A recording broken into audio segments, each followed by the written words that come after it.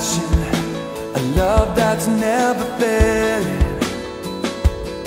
But let mercy fall on me.